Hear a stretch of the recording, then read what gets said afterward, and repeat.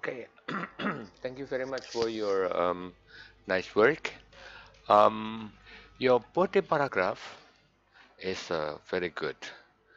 Yeah, you state in each paragraph that the issues about the amount of aids. That's general.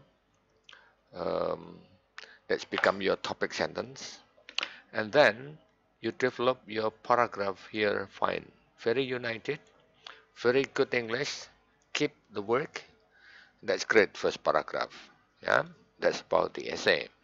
Now, second, revolve around the corruption. Very good. So you mentioned about the corruption, and your argument here is pretty clear.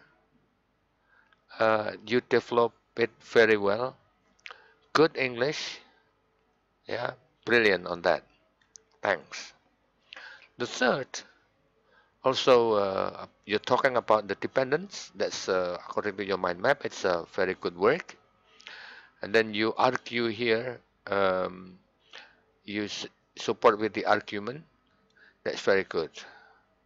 Then this is a kind of um, a lot of things that we could do to reassure people that foreign is not bad. It's a kind of conclusion. So it's a very good essay minus minus the intro you should put the uh, introduction here actually the intro of the paragraph. But I think you have made it in the earlier um, assignment. And this essay has been uh, very good and brilliant.